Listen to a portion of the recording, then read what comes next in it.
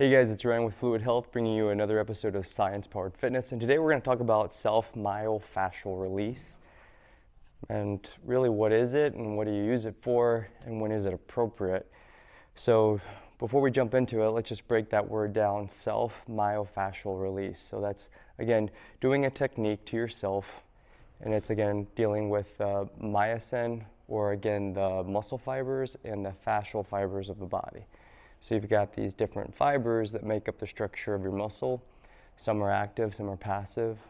Again, the active is the actual contractile component of the tissue. And then we've got this fascial webbing, scar tissuing that can develop that really creates this intrinsic fortification that allows your body to create tension from the muscle and then through the fascial connection points or that connective tissue tether to your tendon and to the bone structure and then actually advance the limb. So again, when we overuse a muscle, if it's always in a state of stretch tension, if we rip it, you can develop these fascial restrictions which really bind the muscle and keep it from getting to its full extensibility. And that's why you would start using devices like this, foam roller, foam ball, lacrosse ball, to actually get in there and start to break down these collagens and help to restore the length relationships. So again, what we do is we have different surface areas which allow us to create more or less pounds of pressure per square inch. So the broader the surface area, the more that you're gonna cover with that ball, and then it's gonna have less pressure. Now it's important to note that when you provoke the muscle by pushing so hard into it that there's pain, it typically is your body's way of telling you that there's trauma, and you actually could be doing more harm than good. So when we do this, we want to invoke a parasympathetic response, a calming influence on the muscle by allowing pressure to actually pull on the tendon until the reactive tension of the muscle subsides. You want the nervous system to relax before you start working on the tissue. It takes a little bit of time. So once you add pressure to it, it's called a passive inhibition or passive release. You're just sitting there not moving. Now, as you're doing that, you're also allowing the mechanical properties of these collagens to start to soften.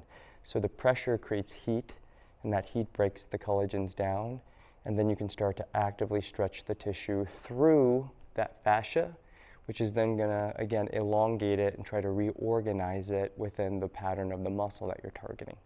Now, the goal being, again, to decompress that tissue to, again, provide more circulation and blood flow, get some circulation and, and hydration back to that tissue, Again, fascia can get dry and brittle and restricted as we get older, so it's good to keep it malleable and soft and, and again, hydrated, and this can help with that.